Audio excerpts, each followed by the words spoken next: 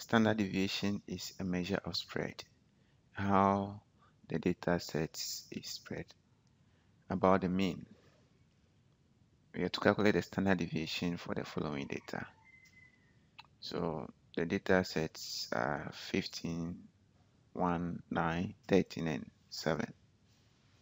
So since the standard deviation has something to do with the mean, we have to first of all calculate the mean. So the mean of these data sets is given by the sum of all these x values divided by the number of items here. So when you sum all these, what do we get? So we have 15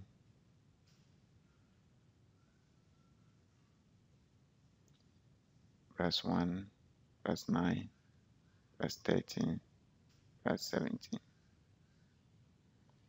all divided by 5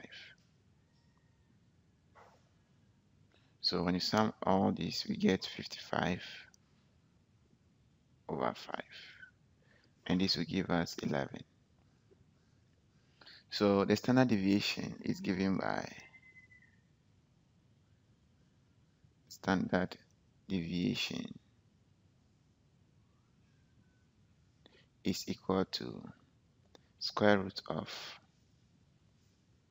summation of all the x values. That is their distance from the mean squared all over the number of items. So that is the standard deviation formula for data set like this so this will be equal to square root of now 15 minus 11 is 4 so 4 squared. And 1 minus 11 is negative 10 so negative 10 squared. 9 minus 11 is negative 2 so negative 2 squared. 13 minus 11 is 2 so 2 squared. 70 minus 11 is 6 so 6 squared. All divided by 5 so we need to simplify this.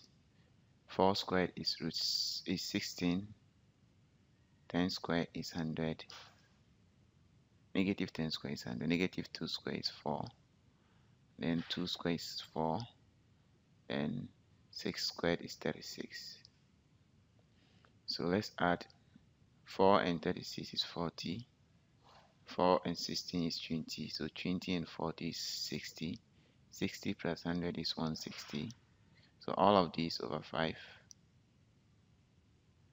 so this will give us square root of 160 over 5 so 160 divided by 5 is 32.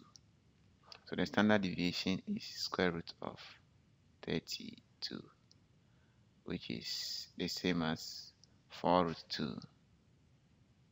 4 root 2, which is approximately 5.66.